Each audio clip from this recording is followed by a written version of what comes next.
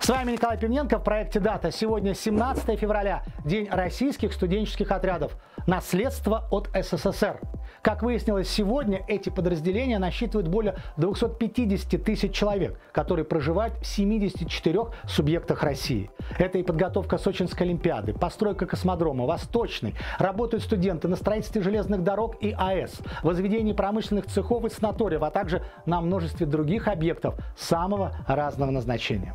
В этот день появились на свет в 1888 году Отто Штерн, физик. Родился в Германии, работал в США. Разработал метод пучков, измерил скорость теплового движения молекул, доказал существование пространственного квантования, открыл дифракцию атомов и молекул, измерил магнитный момент протона, получил Нобелевскую премию.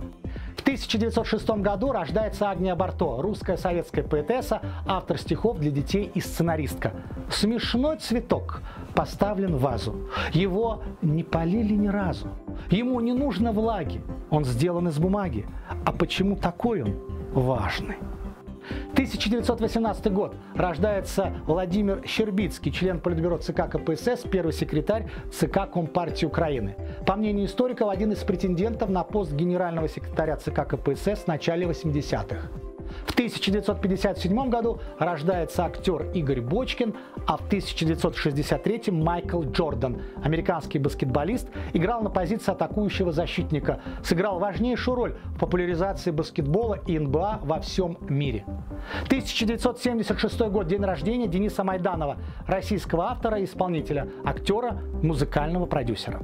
История дня. 1598 год.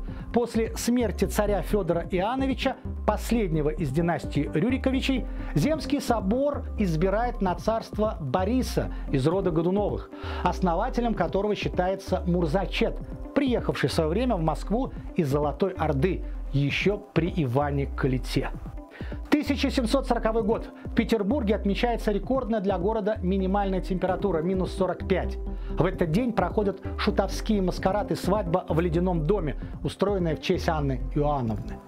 А в 1761 году в Зимнем дворце дается балет, где одну из партий исполняет будущий император Павел I. Лондон, 1932 год. Английский физик Джеймс Чедвик направляет в журнал Nature сообщение об открытии нейтрона.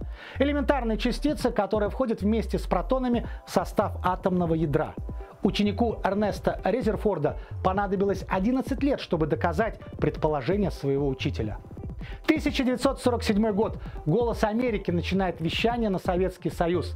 Теперь трудно объяснить молодому поколению, зачем многие молодые люди слушали эту радиостанцию, которую все время глушили и все время слушали. 1982 год. На экраны страны выходит фильм Татьяны Лезновой «Карнавал» с Ириной Муравьевой в главной роли. А в 1993 году в России учреждено РАО «Газпром». Патенты дня. 1818 год. Барон Карл фон Дресс патентует дрезину. А в 1883 году некто Ашвилл патентует, стыдно сказать, общественный туалет в Лондоне. Ну и последнее. Сегодня Международный день спонтанного проявления доброты. Неофициальный праздник, который создан по инициативе ряда международных благотворительных организаций, по мнению которых этот праздник имеет планетарное значение. В некоторых странах сегодня принято также дарить цветы знакомым и незнакомым людям, делать комплименты в этот день хотя бы трем гражданам. Считается, что вы улучшаете их настроение не только на этот день, но и на целую неделю, а они, в свою очередь, его кому-то еще. Давайте попробуем провести хотя бы один день полностью в добром настроении, а лучше год, а может и всю жизнь. С вами Николай Пивненко в проекте «Дата».